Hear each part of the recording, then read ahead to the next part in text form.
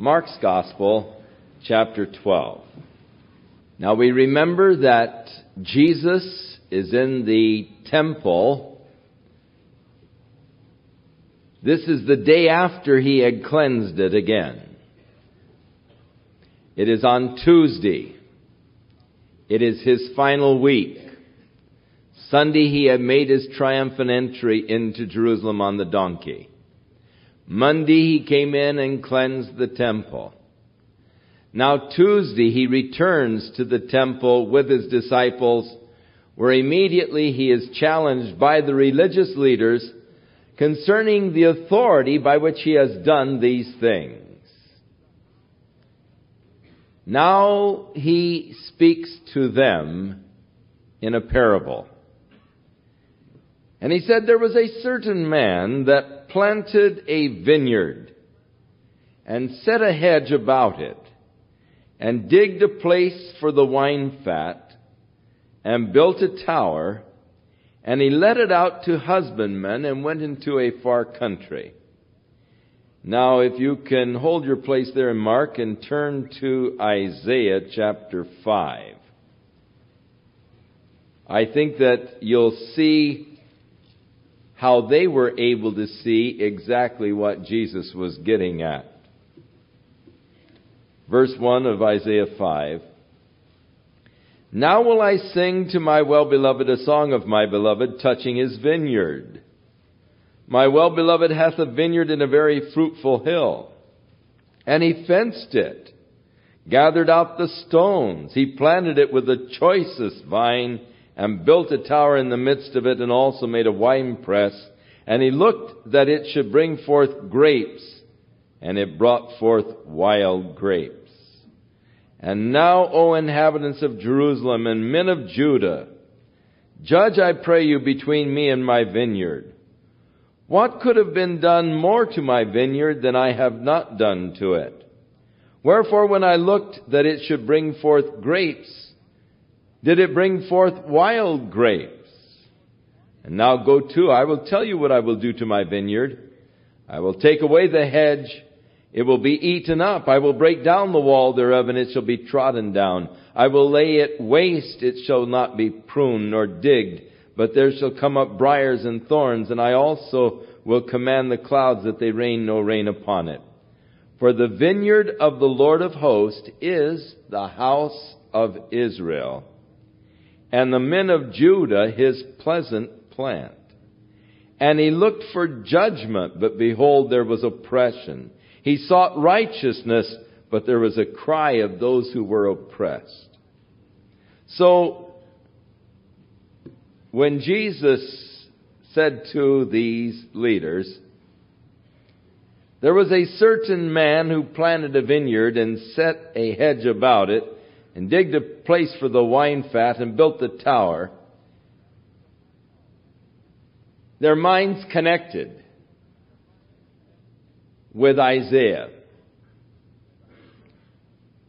And he let it out to husbandmen, went to a far country, and at the season, or the time when he should be reaping the benefits of that vineyard, he sent to the husbandman a servant that he might receive from the husbandman the fruit of the vineyard. And they caught the servant and beat him and sent him away empty. So he sent unto them another servant.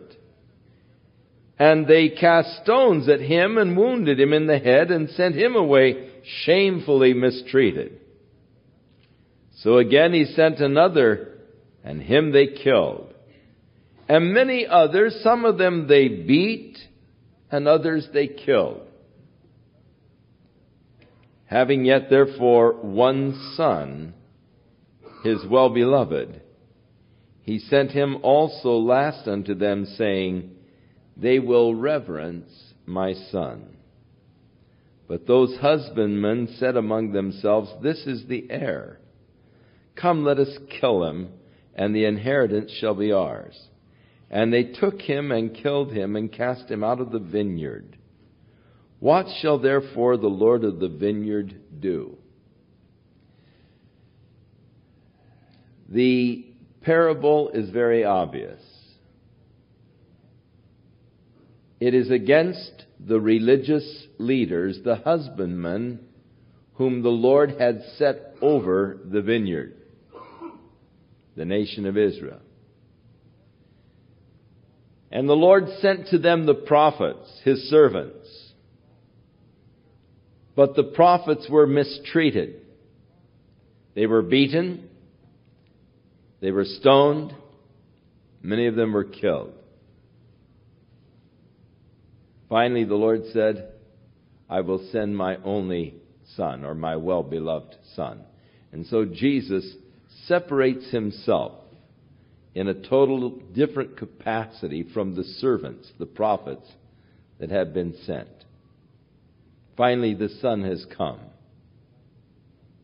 And the religious leaders have determined to get rid of him in order that they might somehow take possession of the vineyard. The question what will the Lord of the vineyard do? Of course, God is the Lord of the vineyard. He will come and destroy the husbandman and will give the vineyard unto others.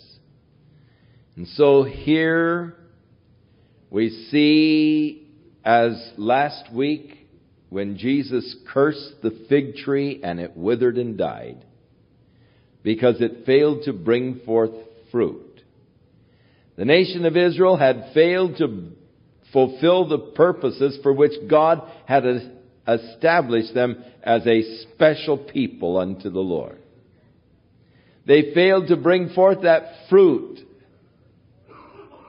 that God was desiring the nation to produce. So what will the Lord do? He will take away the privileges, the opportunities, and He will give them to others. And so we see the door opened to the Gentiles, and Jesus here is prophesying and predicting that God is going to do His work not among the Jews in this age, but more among the Gentiles, and thus we see the work of God's Spirit in a powerful way among those Gentile believers in Jesus Christ. And then the Lord quoted to them the Psalm 118, which is a psalm that was predicting the triumphant entry of the Messiah. And have you not read this scripture? The stone which the builders rejected is become the head of the corner. This was the Lord's doing, and it is marvelous in our eyes. This particular Psalm 118, the stone set of naught by the builders or rejected by the builders, becoming the head cornerstone, is a often quoted psalm in the New Testament. Peter quoted it when he was talking to the religious leaders in the fourth chapter of Acts. Paul quotes it in his epistle to the Romans and then also his epistle to the Ephesians. Jesus here makes reference to it. Obviously, it is a reference to Jesus, the stone. Now, you remember that there was that prophecy in Daniel of the stone that would come, not cut with hands, striking the image in its feet and growing up into a mountain covering the earth.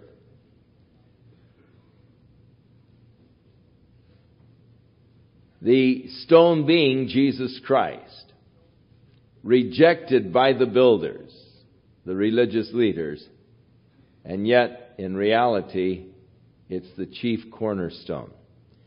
There's an interesting story of the building of Solomon's temple.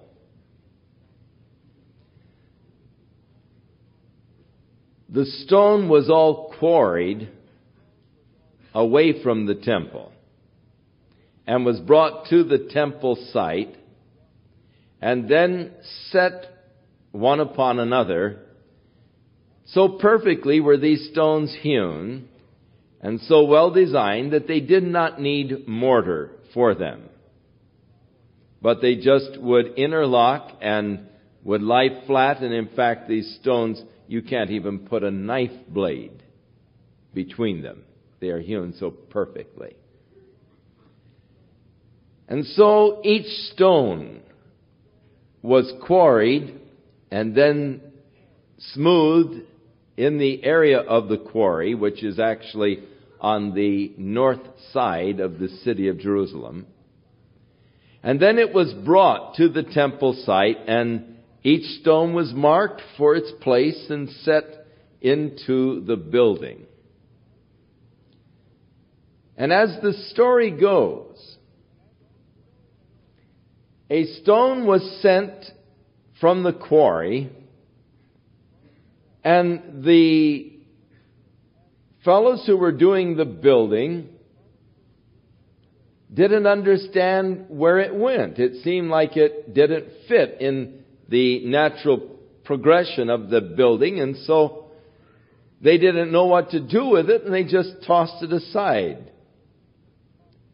And of course, in the years as they were building the temple, finally they came to the completion of the building, but the chief cornerstone was missing. And according to the story, they sent to the quarry for the chief cornerstone. We want to complete the building, have its dedication. We need the chief cornerstone. And the foreman checked his records and said, it's already been sent. And they said, we don't have it.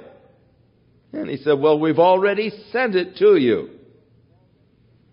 And someone remembered that stone that was tossed over and now the bushes had grown up and over it. And they dug the thing out and sure enough, the stone that was rejected by the builders was in reality the chief cornerstone of the building. And thus, this psalm, but yet tremendous prophetic significance. The stone that was set of naught by the builders has become the chief cornerstone. This is the work of the Lord. It's marvelous in our eyes. And so Jesus quotes this very familiar psalm, Psalm 118 to them, a psalm by which he is asserting that he is indeed that stone, the Messiah. And so they sought to lay hold on him. He had directed the parable against them, and they recognized that. And they wanted to lay hold on him, but they feared the people, for they knew that he had spoken the parable against them. And so they left him and went their way. And then they sent unto him certain of the Pharisees and the Herodians to catch him in his words. And when they were come, they said unto him, Master, we know that you are true. And you don't care for man, and you don't regard the person of men, but you teach the way of God in truth. Quite an acknowledgement. True, it was flattery to try to throw him off guard. And then they offered their question, which was designed to entrap him. Is it lawful to give tribute to Caesar or not? Judah was a Roman province. As a Roman province, the governor was directly appointed by Rome and the Roman government excised taxes from them that were paid directly to the Roman government. And there were three basic taxes. First of all, you were taxed on the land that you had. And you had to give one tenth of your crop to the government.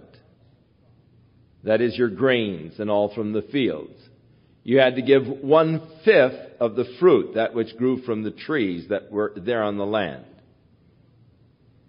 Secondly, there was a straight across the board 5% income tax.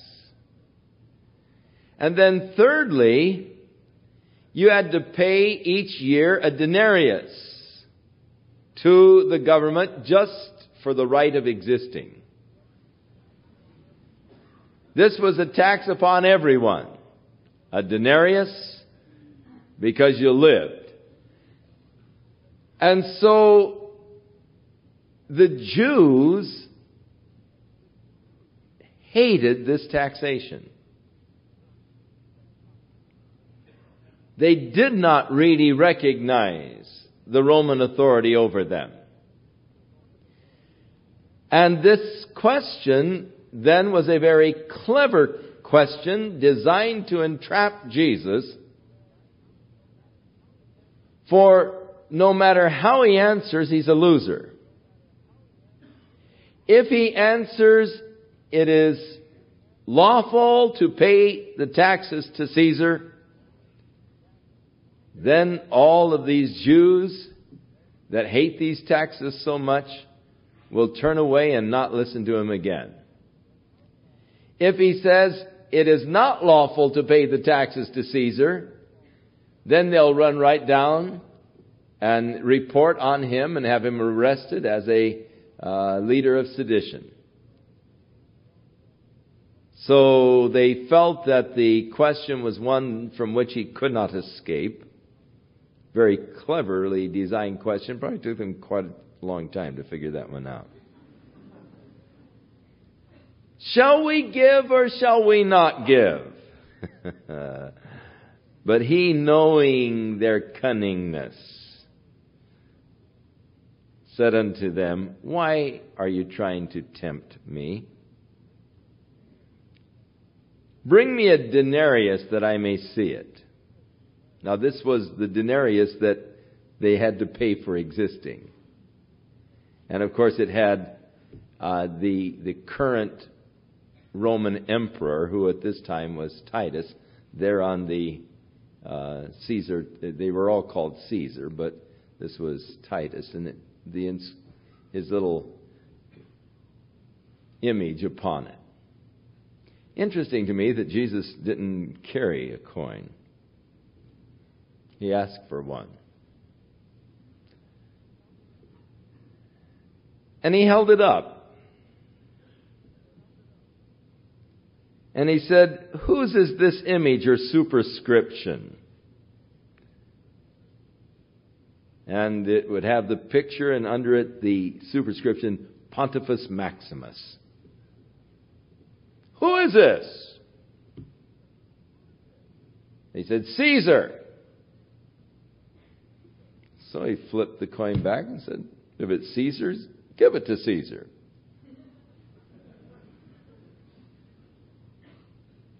but give to God the things that belong to God.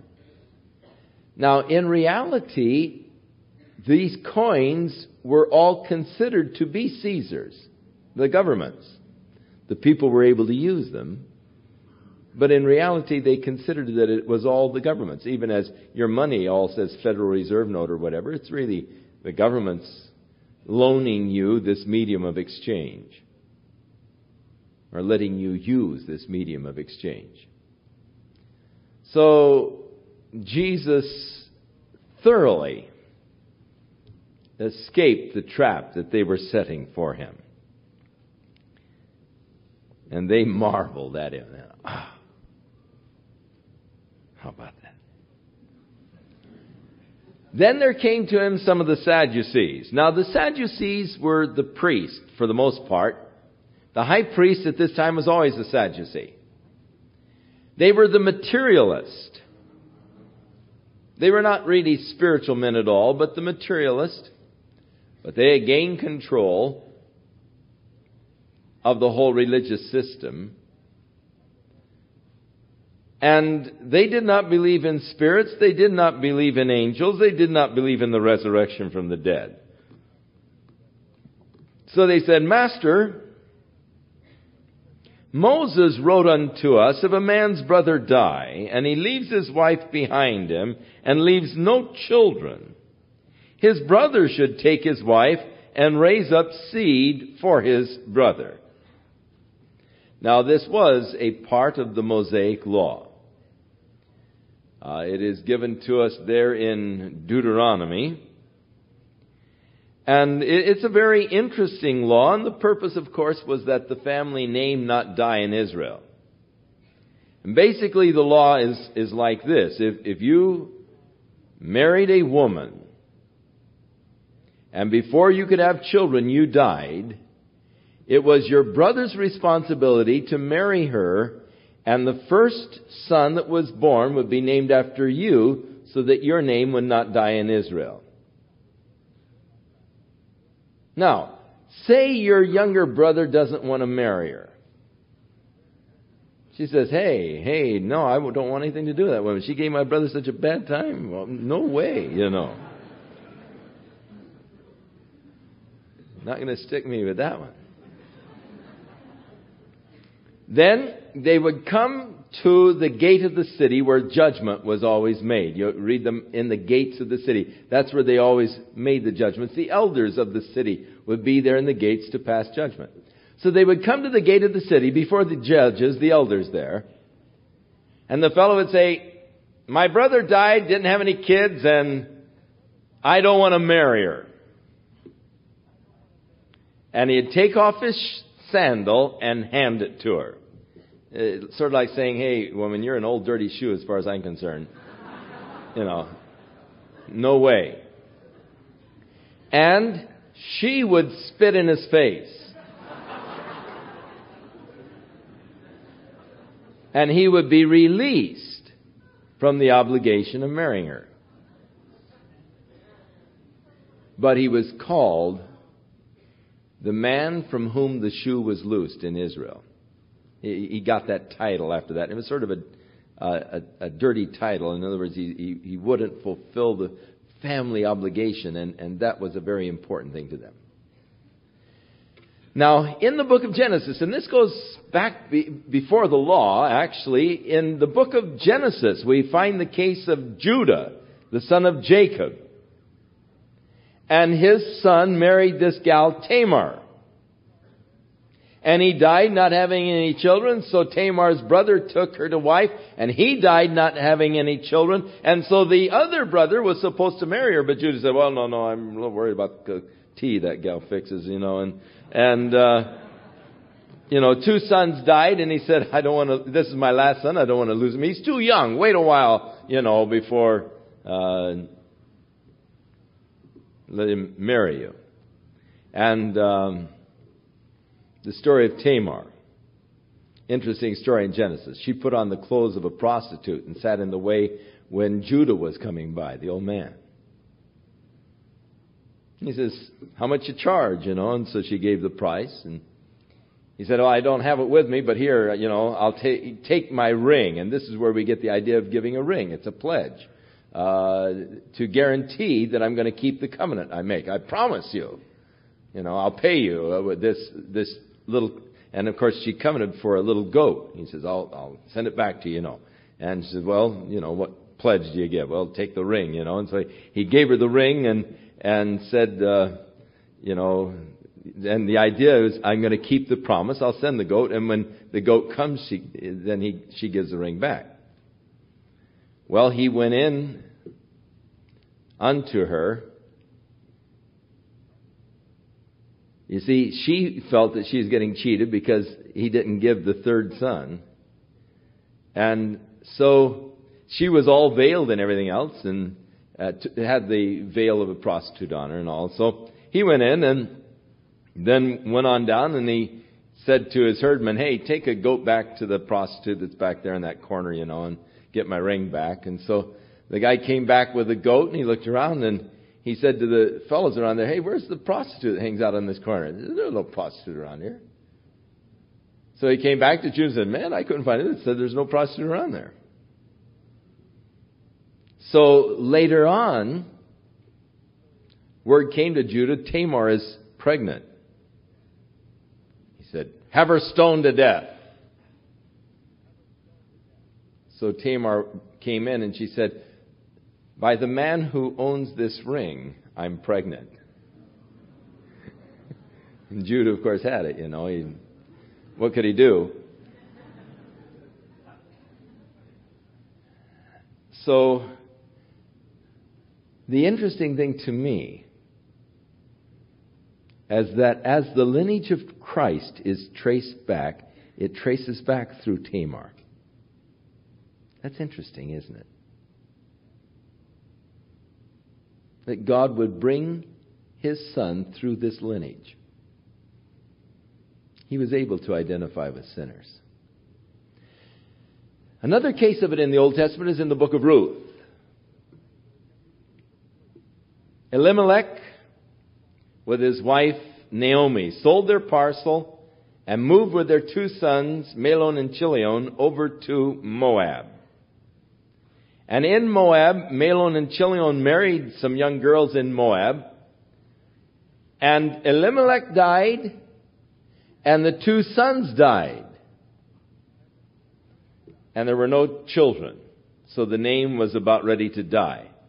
Naomi, of course, came back with Ruth and later on Boaz, who was a brother to Elimelech, married Ruth and raised up, he became the, what they call the Goel, the, the family redeemer. He's the one that redeemed the family name by having a child through Ruth, whose name was Obed, whose son's name was Jesse, whose son's name was David. And in tracing the lineage of the line of Christ, it goes back through Ruth and Boaz. So this idea of a kinsman redeemer is tied into the lineage of Jesus, which I think is significant because that's what he came to be. He became a man that he might be kin to us, but his purpose was to redeem us. Man couldn't redeem himself. And so he became a man that he might become our kinsman redeemer. And in two places in his lineage, that particular Jewish law was kept, fulfilled. So, here, the Sadducees, they go an extra step. They create a hypothetical case where a there were seven brothers, and the first took a wife, and he died without any children. So the second took her and died without any children, and the third likewise. And all seven married her and died without any children. And finally the woman died. Now, in the resurrection, when they shall rise, whose wife shall she be of them? For all seven were married to her. Now you see, they were creating a hypothetical case by which they were trying to show that the idea of the resurrection from the dead could only create a lot of problems. And here is a big problem. Because you can see seven guys now fighting over the one woman, for she had been married to all seven, but none of them had any children. And, and they, they pictured this big confusion at the resurrection. Of course, there are others who have foreseen great problems with the resurrection. Say you have a kidney transplant. Who gets the kidney in the resurrection?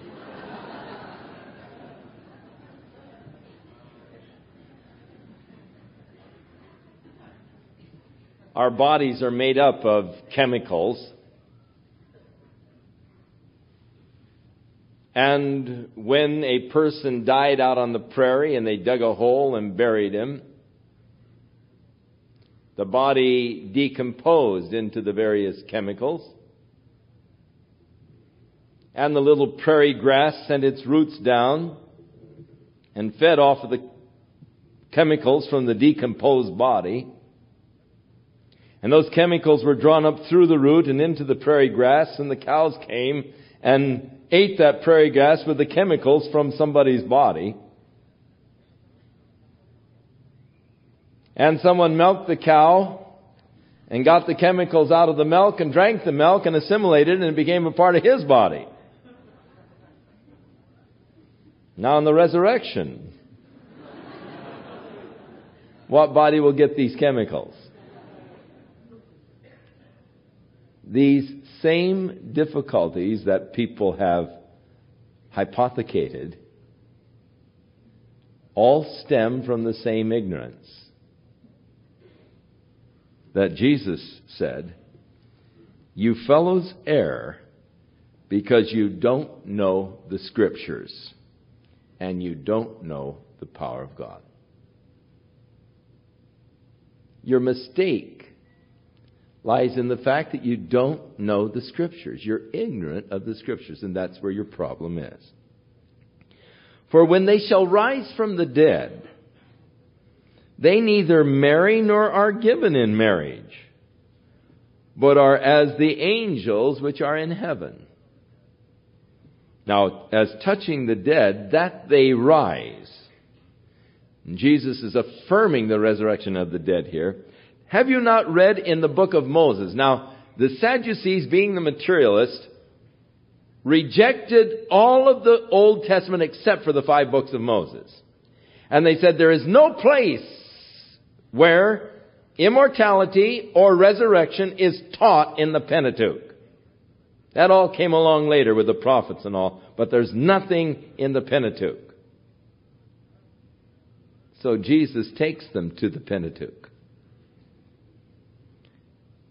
Have you not read in the book of Moses how in the bush, when God spoke to Moses, he said unto him, I am the God of Abraham, the God of Isaac, and the God of Jacob. And Jesus said, He's not the God of the dead, but of the living. And with their own book of Moses, he really cut them down. Now, there was a certain scribe that was there, and he was watching this whole transaction, interchange of thoughts and ideas. And he was captivated by Jesus and his answers that he gave. When he heard them re- reasoning together, he perceived that Jesus was really coming up with some excellent answers. And so he asked him an honest question. These first two questions were dishonest questions. A dishonest question is a question that is not looking for an answer, it's looking for an argument. An honest question seeks an answer. I want to know. I ask a question. That's honesty. I have a point I want to prove. I want to get into an argument with you and show you you're wrong. I ask a question. I'm really not wanting your answer. I don't care what you answer. Your answer is wrong and I'm going to prove it to you. And, and there's a lot of times that we are questioned by people, and the questions are not sincere, they're not honest questions. And, and one of the first things, uh, and I can tell quite often by the question itself whether it's an honest or dishonest question. When a person says, why don't you baptize people the moment they accept Jesus? I know that's not an honest question. They really don't want to know why we don't take you right down to the beach tonight and baptize you if you've accepted the Lord here this evening. They don't want to really know that.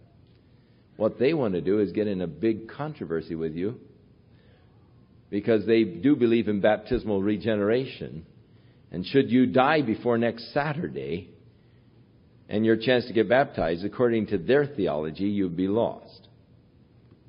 So emergency baptisms, you know, get them in the tank as quick as possible, you know, and dunk them. And, and so they ask that question, and, and you know it's not an honest question. I really don't like to get into a controversy over the scripture. The minute I can discern that a question is not an honest question, I'll quit talking. I mean, I, I'm not interested in getting in a dispute or an argument. The Bible says, They that are ignorant, let them be ignorant still.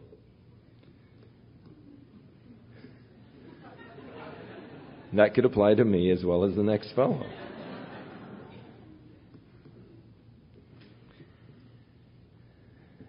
This fellow has an honest question burning in his heart. It is a question that should concern every man who has become convinced of the existence of God. You say you believe in God. Hey, you can't rest there. You can't stop there. You see, if you believe that God does exist, then suddenly, as you start to develop from that basic concept, God exists, you start going out from there and, and you've got to handle a lot of things. I grew up in a very godly Christian home. I believed in Jesus Christ from day one. From the time I was 13 days old, I was carried to church. Slept in the pews. Grew up in a, you know, in the whole environment and atmosphere. Yet, as every teenager, I think, must do, I came to that place in my own growth and development and maturing where I had to create my own relationship with God and, and develop my own foundation and my own theology and, and, and my own building, you might say, of faith. And as I was going through that period, being challenged intellectually by my studies, by my philosophy, philosophy classes and biology classes and all. There was a short period of time when I was questioning everything. And I began to question the existence of God. And I wondered if I really believed that God did exist.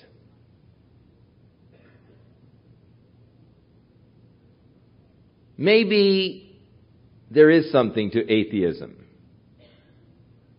Maybe it is all just something that has been conjured up by man.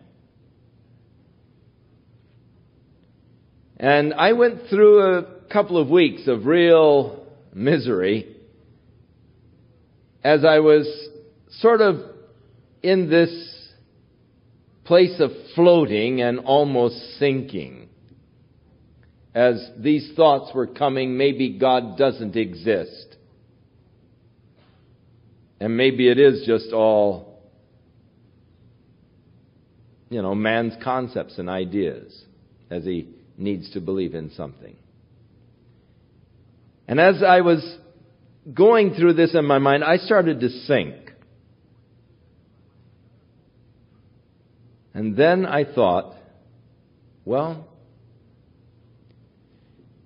it is easier to believe that God exists than to not believe that He exists.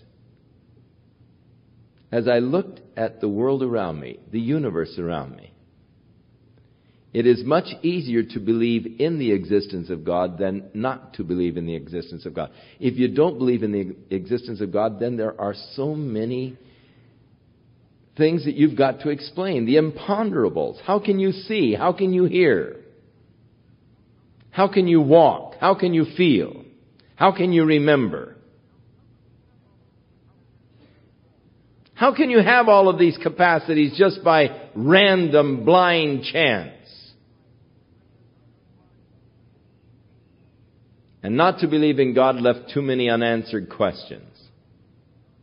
So I said, well, alright, I believe in God. You say, well, that's not much. Well, if you're sinking, it's an awful lot. To let your foot hit on something solid. And I thought, well, yes, I believe in God. But wait a minute. I couldn't stop there. Just in the belief in God, I couldn't stop there. If God then does exist, and I've come to that belief by the observation of creation around me and myself. And as I observe creation, I see the design and I see the purposes. I see the delicate balances in nature. I see the oxygen nitrogen cycles. I see the water dry land proportions, two thirds to one third. All of these are by design. They must be because they are all necessary for man's existence. If God has a design and a purpose for all things, then He must have had a design and a purpose for me. And if God has a purpose for me, then what is God's purpose for me? And that's at the point that this man was who came to Jesus. What is God's purpose for me? This is basically what is his question. What is the first commandment? Really, what is the most important thing? First being in order, not what is the very first commandment God gave. The first commandment was don't eat the tree in the middle of the garden. But first in the order, that is the most important commandment of God. What is it?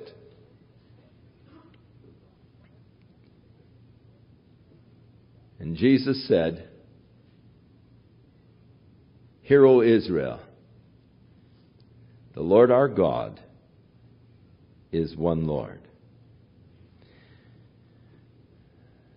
He goes back to Deuteronomy and what is known as the Shema, the hear. It is that portion that the Jews roll up in these little boxes that they tie on their wrist. The boxes that they put on their foreheads. They all have this Shema in it. Hear, O Israel, the Lord our God is one Lord. It used to be in their feast days when they would gather in the Temple Mount that they would start chanting this and it would build and build and build as they would chant together, Hear, O Israel, the Lord our God is one Lord. It is interesting to me that even in this declaration, the Shema, the great commandment, the first, the primary commandment,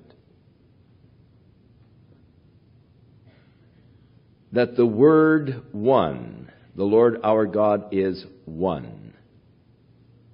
Lord. The word one is the Hebrew word echad, which is a compound unity. There is another Hebrew word for one, yachid, which is an absolute unity.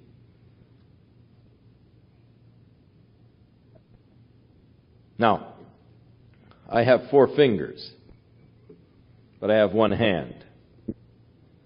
Now, in the one hand, there are the four fingers and the thumb. So you have one hand, but in it is a compound unity. There are better examples of compound unity. You have one egg, but it's composed of a shell, a white, and the yolk yet it's one egg. Compound unity. The two shall be one, speaking of marriage. Echad, one. It's a, there's two, but they become one, the compound unity. So the Lord our God is Echad, a compound unity, is one Lord. It is also interesting to me, and it's a baffler to the Jehovah Witnesses, that here and elsewhere in the New Testament, the name Yahweh is translated into the Greek kurios, the title that was commonly given to Jesus Christ. Now, if there is so much on the Jehovah's or Jehovah Witnesses, and there's so much to that name, Jehovah, evidently Jesus and the New Testament writers didn't know that. Because instead of translating the name Jehovah or Yahweh into Greek, they use the Greek word kurios, which is the Greek word for Lord, which is the title that was given to Jesus Christ. And we read that God has given him a name that is above every name, that at the name of Jesus every knee shall bow and every tongue shall confess that Jesus Christ is kurios, which is the translation from the Old Testament of Yahweh or Jehovah. So, interesting problem that they have to wrestle with.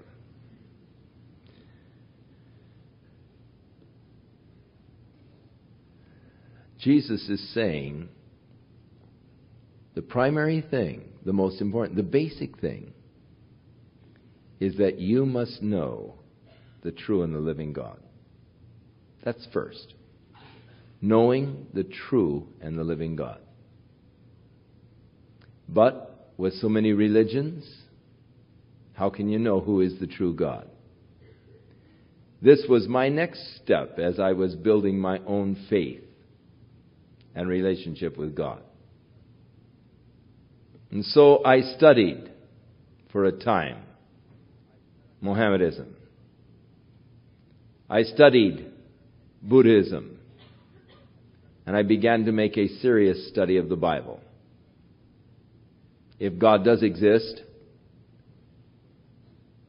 and God did create me for a purpose, then it would be necessary for God to reveal himself to man early in the history of man.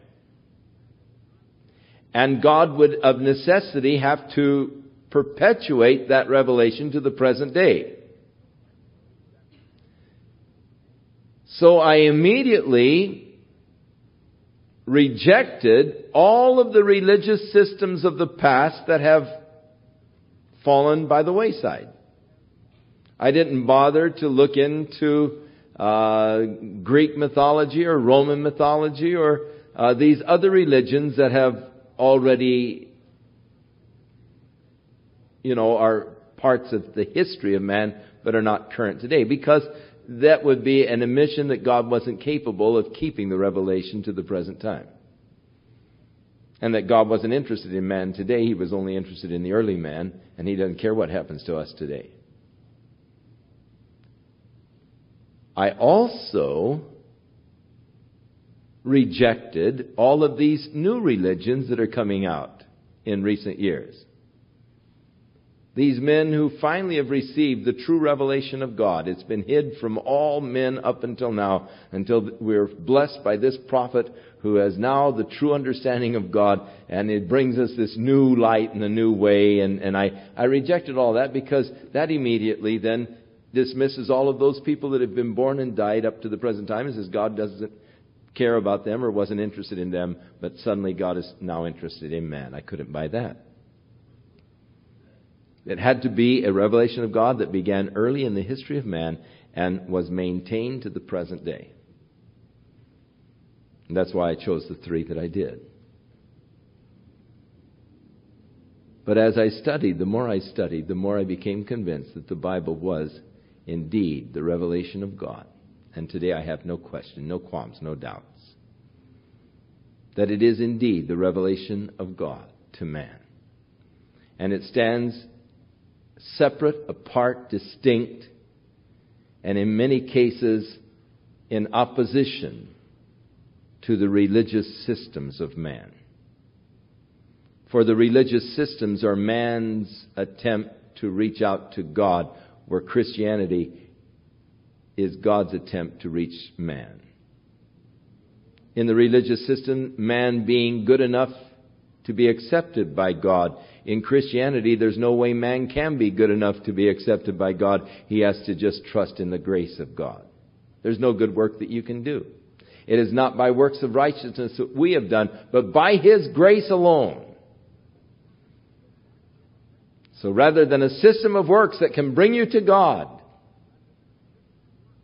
it bypasses all that and says there's nothing you can do to be worthy of God. You can only receive His grace, His love, His mercy that He extends to you through His Son, Jesus Christ. God is reaching you. You can't reach Him. And of course, as I read the Bible, I became fascinated with that prophetic aspect of the Bible, which the Bible itself declares is the built-in proof of its origin. That the Bible originates with God. That you might know that I am God and there is none other like me. I'm going to tell you things before they happen so that when they happen, you will know that I am indeed the Lord. Jesus said, I've told you these things before they come to pass so that when they come to pass you might believe. And so that prophetic element that we can even up until the present time read and know that God has spoken of the very days in which we now exist and has prophesied in advance things that we see in the world around us. The fact of the nation of Israel, whether or not the Arabs want to recognize it, they are there. God's word said they would be there.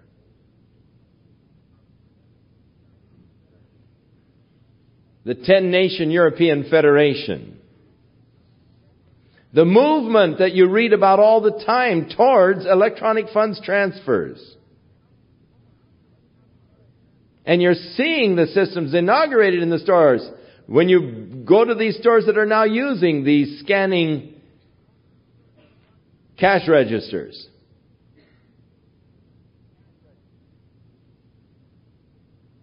God said, I've told you in advance so that you might believe. And so that built in proof system. The most important thing for any man is to discover the true and the living God. Hear, O Israel, the Lord our God is one Lord. It's important that you know who God is. Secondly, you must come into a loving relationship with Him. And thou shalt love the Lord thy God with all thy heart, the deepest area of your life, with all your soul, that conscious area of your life, with the mind, and with all thy strength. Love God supremely. God must become the center of your existence, the center of your life. And all men's lives revolve around some axis. There is that center to every man's life, and it is important that you look into yourself and find out what is the center of your life. Upon what does your life revolve? What is the axis upon which your life is revolving? And with most people, it is self. For most people are living self-centered lives. But the Bible assures you that the self centered life is destined for emptiness and frustration.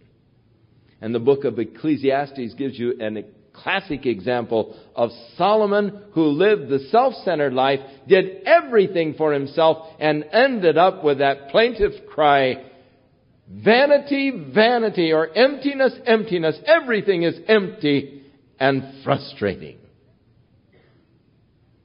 He did it all. He had it all but because it was centered around himself. It was unfulfilling, and he ended as a bitter cynic, as does that person who lives for himself. When you get to the end of the road, you say it wasn't worth it. Life is a mistake. Tragic mistake. It's a farce. There's no meaning. There's no purpose.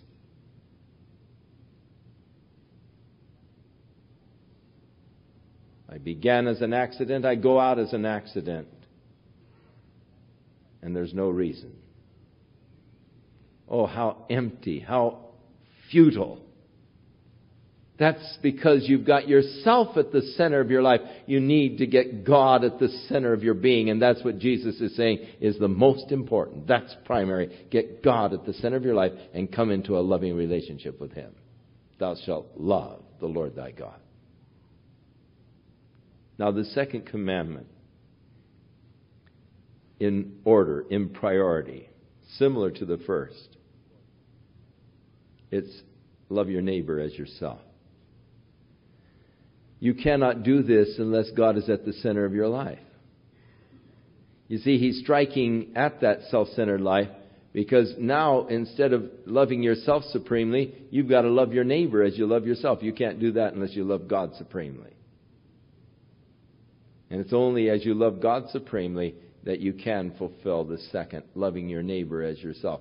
But in this is all the law and the prophets. This sums up the whole Old Testament It's what it's all about.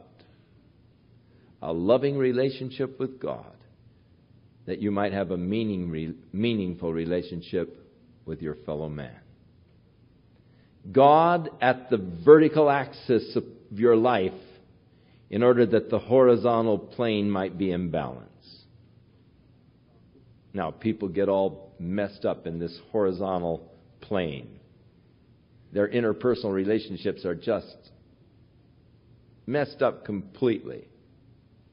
And so you go to a shrink and you try to understand yourself and why do I react and why do I respond and why do I yell and why do I scream and, and why do I drive people away and why do I act in such an antisocial way and all. And, and he tries to dwell, uh, delve into your psyche and all and, and to tell you, you know, now if you'll just do this and that and take a little Valium and all and it won't make any difference, you know, and, and, uh, you know, and, and so he's trying to help you to balance out these interpersonal relationships out on the horizontal plane. And so no sooner do you get one into focus and you sort of balance it, then the whole thing you, you begin to go overboard and the other side is way up and ooh, wait a minute, get up on the other side, you know, and jump up there so that I can balance this thing out and, and so you see people spending their lives, you know, trying to keep things in balance and it's always just sort of topsy turvy. Well, you got to come to the center axis, man. It's, it's out of kilter. Your relationship with God is just way off. And if your axis is tilted, then the horizontal plane spinning around that axis is going to be just in the crazy, you know, whirl up and down, up and down, up and down, up and down. Until you say, oh, God, stop this thing. I went off. First thing, get right with God. Know God. Love God. The second, then, will fall into order, loving thy neighbor as thyself. Now, this fellow was intrigued with the answer. He thought, all right, I'll buy that. And he repeated it just to confirm it in his mind. And he said, Master, that's good. You've told the truth. For there is only one God, and there is none other but He. And to love Him with all of the heart and with all of the understanding and the soul and the strength and to love the neighbor as yourself is more important than all of the burnt offerings or sacrifices that you could ever give. And Jesus, when he saw that it was sinking in and he answered discreetly, said to him, you're not far from the kingdom of God. You're not far from the kingdom of God because the moment God comes at the center of your life, you are in the kingdom of God. That's what the kingdom of God is about. It's having the king on the throne. The moment you bow and submit your life to God as king, as the Lord of your life, then you're in the kingdom of God, you see. But no man can serve two masters. No man can have two kings. And if you are sitting on the throne of your life, if you're living a self-centered life, then you're not in the kingdom of God and you can't be in the kingdom of God as long as you're living a self-centered life. It's not until you're living a God-centered life that you've really entered into the kingdom. And this fellow was beginning to see the picture and Jesus said, hey, you're not far from the kingdom. get God at the center of your life, and you've come into the kingdom of God.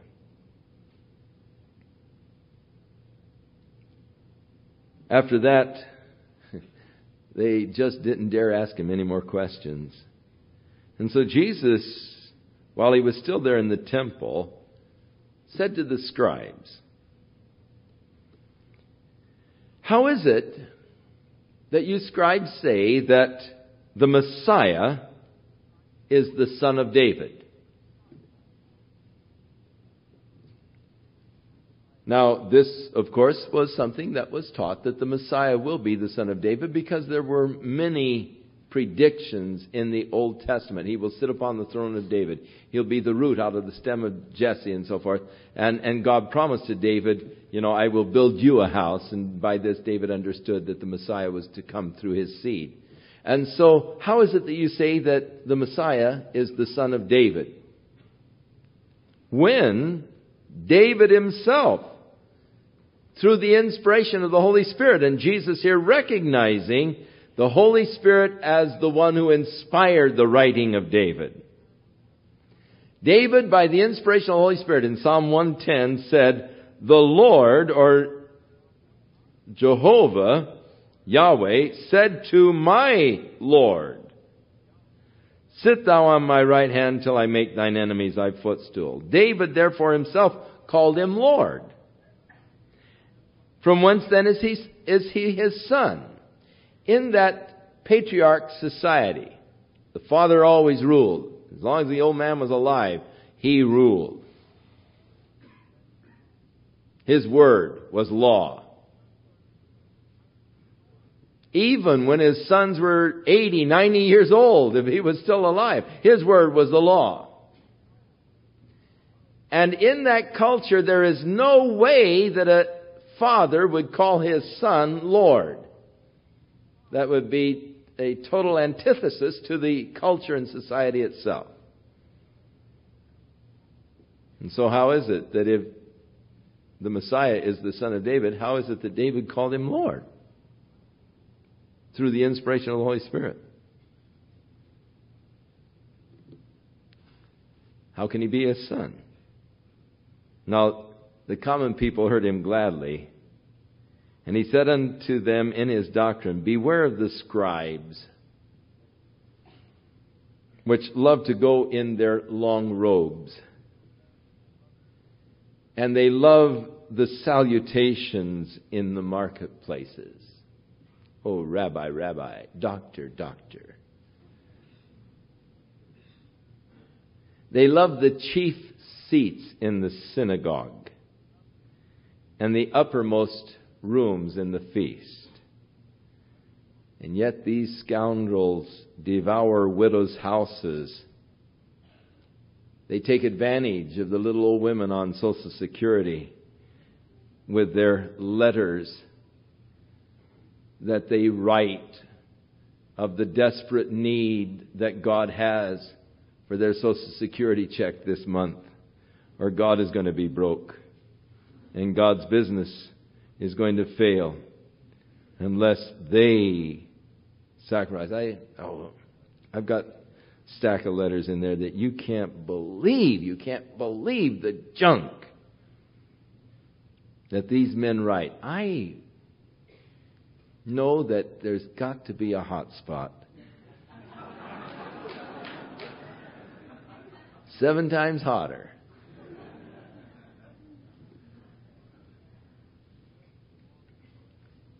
For a pretense, they make these long prayers. And, hey, all right, Jesus said it. They're going to receive the hotter spot. Free translation. They shall receive the greater damnation.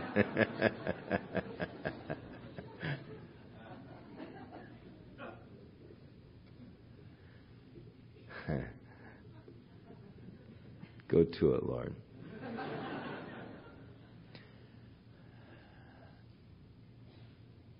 It's hard for me to express how I feel about those who would take advantage of people for religious purposes or under a religious guise.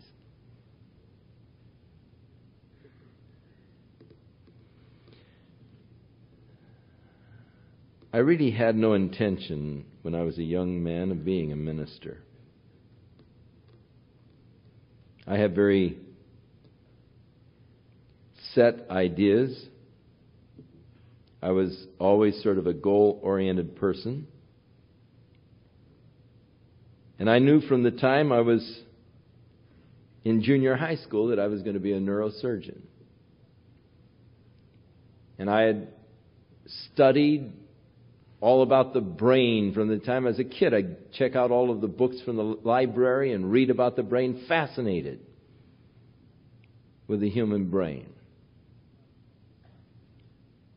And I just knew I was going to be a neurosurgeon, taking all the courses to prepare me for that profession. And I had a big thing against most of the ministers that I knew.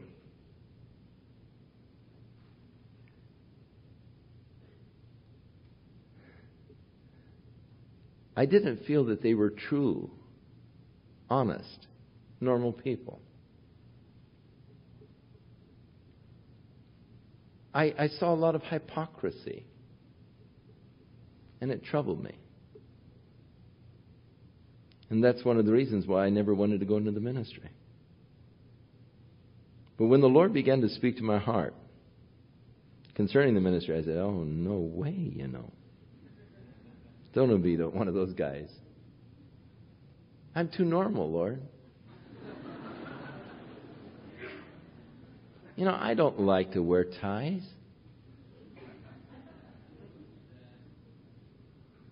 I don't like to dress up in suits all the time.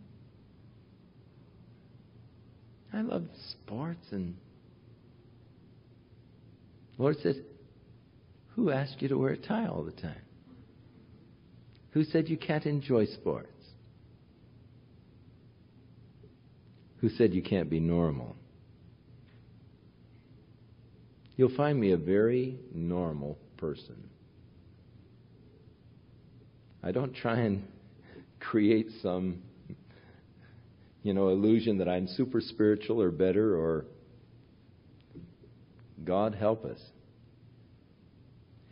But then this thing of this gimmickry on money, this is the thing that really bothered me thoroughly. And I said, Lord,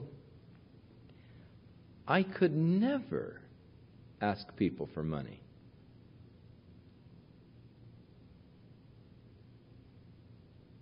And the Lord assured me that He would be my supply, that He'd take care of my needs. And so this is a thing of, of the ministry that I just it it galls me this the, the the many many gimmicks that are used for raising funds or for extracting or extorting money out of people.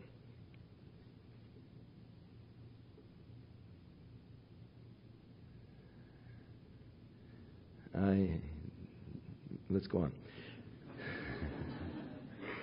Jesus went over and watched them give by the treasury. And he was beholding how the people cast the money into the treasury, and how many that were rich cast in their large gifts. Now Jesus had earlier, you know, sort of come against this. He said, you know, when you when you give, don't be like the Pharisees who you know, like to sound a trumpet before them and make a big display over what they're giving to God. He said, Don't let your right hand know what your left hand's doing. Just give to the Father in secret. He'll reward you. Don't look for the reward of man, the ahs and the oohs. So he watched these rich people casting in these large amounts with great ostentation. But there came a certain poor widow, and she threw in two mites, which make a farthing. I have some mites at home, and I wanted to bring them tonight, and it was my intention to bring them to show you a mite. you can buy a hundred of them for a penny over in Israel. They're worth about one one hundredth of a cent. This little gal threw in two of them.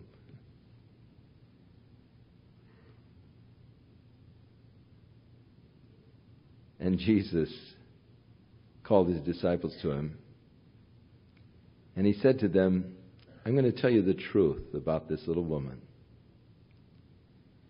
This poor widow has cast in more than all of those which are casting their money there into the treasury. For they all gave from their abundance, but she, out of her need, did cast in all that she had, even all of her living. God doesn't measure your gifts by the amount. Never. But by what it cost you. By that measure, God always measures what we give to Him. What did it cost me to give? David said, I will not give to the Lord that which cost me nothing.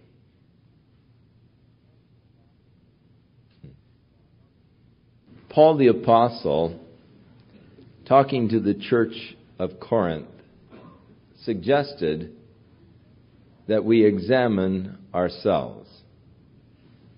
He said, For if we will judge ourselves, then we will not be judged of God.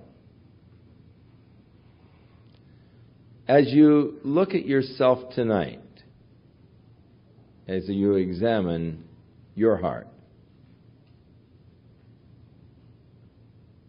can you honestly say that your heart, your life, is centered in God? That He is the center of your existence? That your life is revolving around Him? If not, then you're far from the kingdom. And you are heading down a road that can only bring despair, emptiness, and frustration. I would encourage you discover the true and the living God. Make him the center of your affections. Love him with all of your heart, with all of your soul, with all your mind, with all your strength. And you'll find out how God intended man to live rich, fulfilled, as you walk with him. And thus may you walk this week with God at the center of your life May you be filled with His Spirit. And may God, by His Spirit, guide you, strengthen you, help you. In Jesus' name.